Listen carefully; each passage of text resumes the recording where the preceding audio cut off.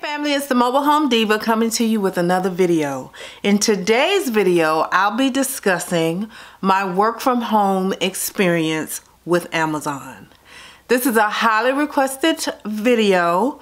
I've gotten so many questions about working from home and working for Amazon and so I just wanted to come on and share my experience with you but before I get into the video I just want to say thank you for watching if you're new to the channel, make sure that you hit the subscribe button and the notification bell so you know every time I upload a video. On this channel, it's mobile home living and mobile home lifestyles. I do mobile home tours, I vlog my life, and I answer questions from my subscribers. So if that interests you, welcome to the family.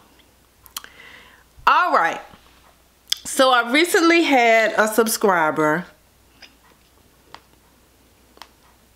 that said they also work for Amazon and would I share my experience.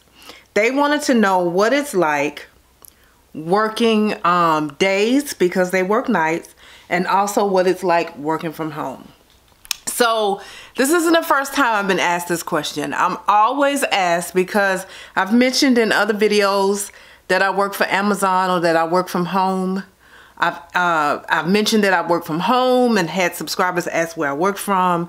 And I'm very honest. I can tell you that I'm not going to tell you a lot about my Amazon work um, because um, this isn't this video isn't sponsored by Amazon. First of all, there, it's not a secret. I work for Amazon um, work for I work from for Amazon in virtual customer service. That means that we don't have an office. Everybody that works for virtual customer service works from home. That includes um, managers, customer service associates, IT, human resources, etc. Um, I have an administrative position. I'm not going to share what that position is but I do have an administrative position. I am not a customer service associate. I started as a customer service associate and I have worked, held different positions at Amazon. And um, I basically have a set time to work. I work, actually working for virtual customer service, you're on Pacific time. Um, so I go to work at 4 a.m. Pacific, which is 7 a.m. Eastern where I live. I work 7 to 4 my time, but on Amazon's clock, I work 4 a.m. to 1 p.m., if that makes sense. Um, I like working from home, but I struggle working in a virtual space. And the reason that I struggle working in a virtual space is because I am a real people person. I like getting up every day and going into work I like being around coworkers. I like giving hugs. I like sharing um, coffee. I like um, just overall communication and I really struggle in this space. And I've talked to my supervisor on several occasions and she agrees that she thinks that I would really thrive in that type of environment. So who knows what's next? Honestly, working from home has a lot of perks, right? You're not in traffic you're not commuting from one side of town to another. If you if you live in Atlanta or in the surrounding areas like I do I live right off of Highway 75 traffic is terrible. I don't care what end of 75 285 20 or 85 you live on. Traffic is terrible. So you don't have to worry about the commute. You don't have to worry about buying gas couple times a week. Um, my car is really good on gas. I gas up once every two weeks.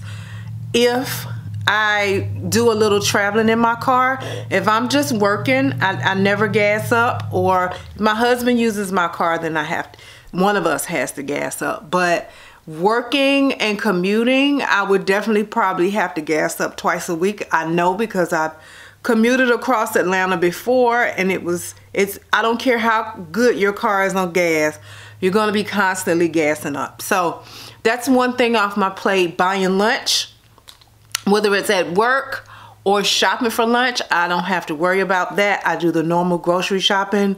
Um, I eat what whatever's here. I don't have to make sure that I have lunch items um, for myself. For my husband who works an overnight shift, whatever I cook for dinner is going in his lunch bag, so I'm not buying extra from for him. But if I was going throughout the day on a regular job, I would have to make sure that we both had lunch. So, um, or both had something to eat. So that's another worry off my plate. Um, some days having to clock in at 7, I roll out of bed at 6.45 and clock in before I brush my teeth or have my coffee. And I could go back and forth, right? I can run to the restroom and and wash my face, brush my teeth. On a 15 minute break, I can take a shower. I can grab coffee whenever I feel like it. Um, and it's really nice to work from home. I love it. Um, please um, don't ask me about referring you because I can't do that. Um, I'm in a position where um, I I'm not I don't hire, right? But I'm in a position where um, I'm not going to be able to refer you, and I'm not going to refer people that I don't know, and I I don't want to be mean, but um, it, it's one of the reasons that I don't share a lot about my job because people automatically say, "Ooh, can you help me get on on or can you help me get a job?" Um, anybody interested in in inquiring to Amazon or um, applying for a position would need to go to the Amazon um, website. You can Google Amazon work from home and you're welcome to apply um, but I can't tell you much um, past that.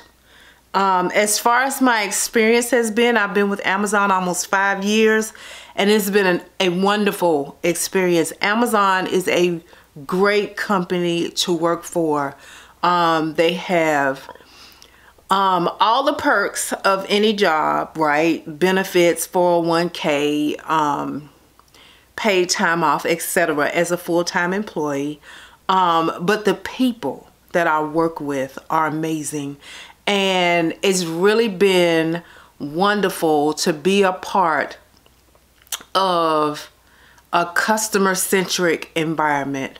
Our owner, Jeff Bezos, has made working for Amazon the best place in the world to work for because it's all about our customers, right? No place in the world takes care of their customers like Amazon. So it's really been a joy.